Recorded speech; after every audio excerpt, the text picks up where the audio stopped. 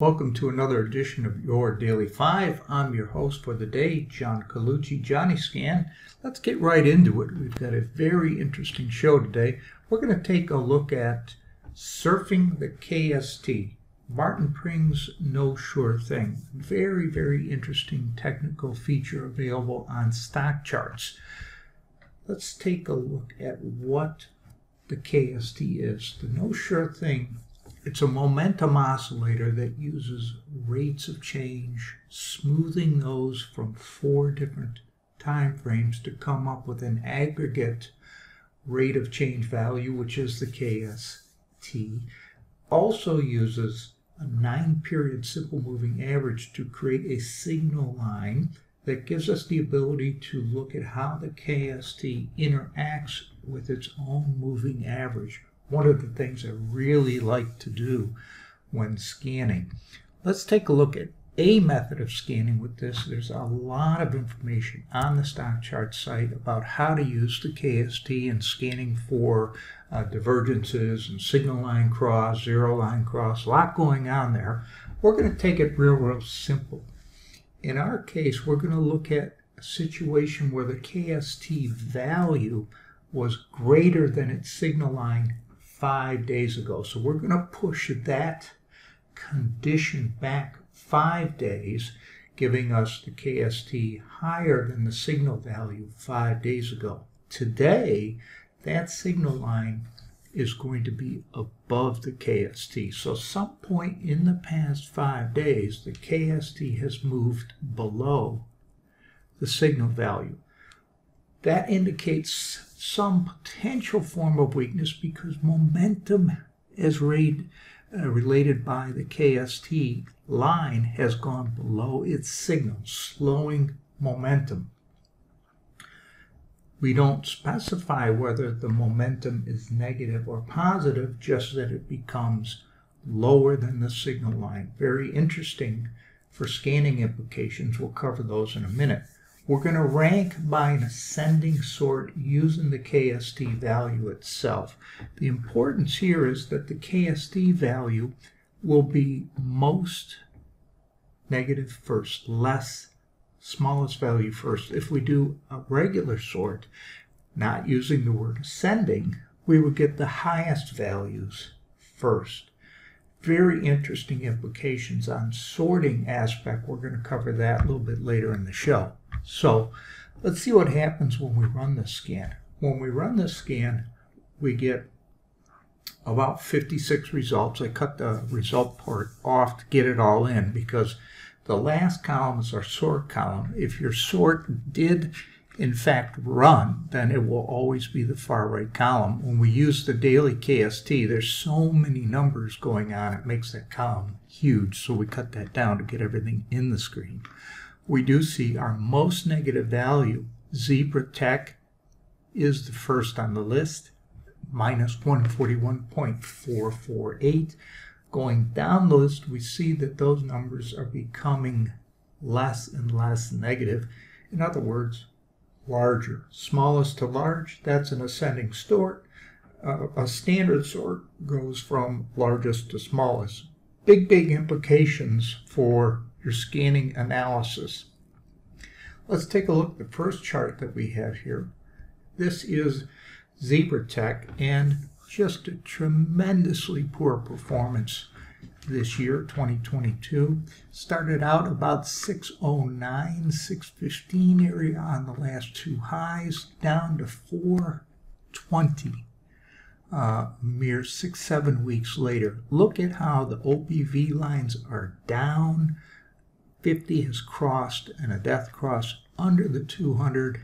Look at that negative slope on the KST and the signal line, as well as relative strength to the VTI and the scooter value itself. We're down to a 7.5 value on the scooter from something up in the 90 neighborhood earlier uh, in or later in 2022, approximately a quarter ago. So very, very bad performance there. If you look in the Zoom thumbnail, you'll see that we had a positive cross of the KST very briefly back down. So during our five day period, our KST value was higher than the signal line, but crashed down through that and now has the biggest uh, negative value, let's say, of the KST way down at the uh, negative, uh, 140 uh, neighborhood. Let's go ahead and take a look at our second candidate. Here is American Water Works, AWK. Um, very much of a family resemblance. We see that OBV lines are all pointing down. We had a high late uh, 21, uh, 188 neighborhood, all the way down to 144 and change, uh, 148 and change, about a 20% reduction over six weeks. That had to hurt. Uh, dividend stock at 1.63%, but not cheap at 35 times earnings.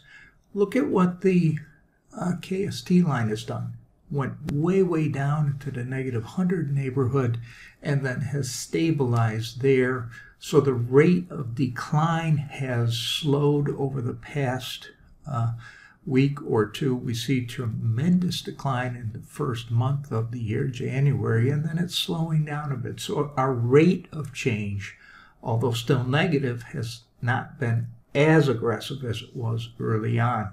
We see that the VTI uh, comparison shows us tremendous lack of strength, and indeed it's uh, grossly underperforming the VTI, and the scooter has dropped way, way down. So here we're using the KST with a negative cross in the last five days combined with the ascending sort gives us the worst of the worst first. And remember, it's rate of change that we're keying in on with the momentum oscillator KST.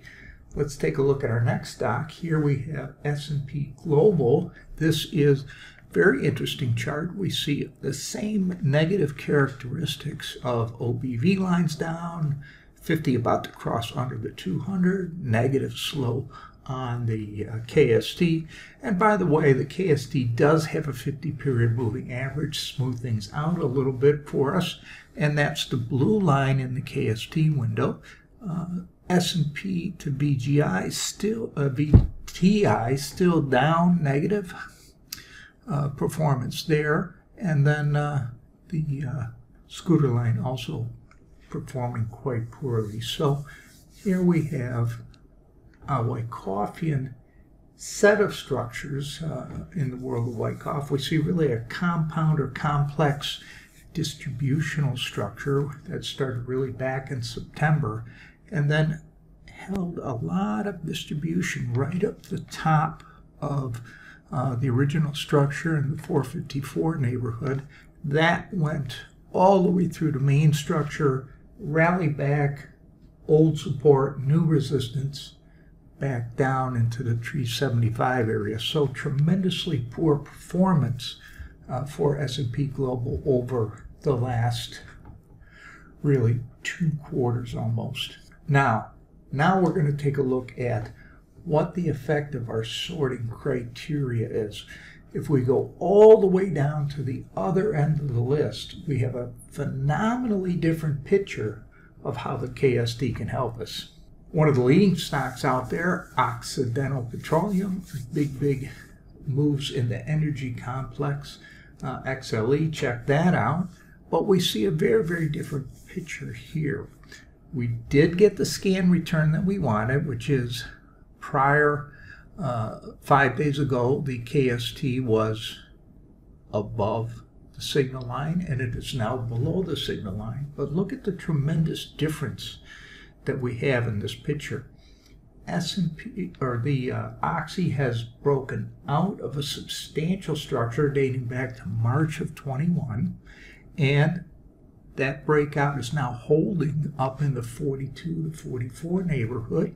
In turn, that is what we'd like to see as Wyckofians. We had a structure forming cause. That cause gave rise to a breakout and we have lots of confirmation on the chart. We have the OBV lines both pointing up.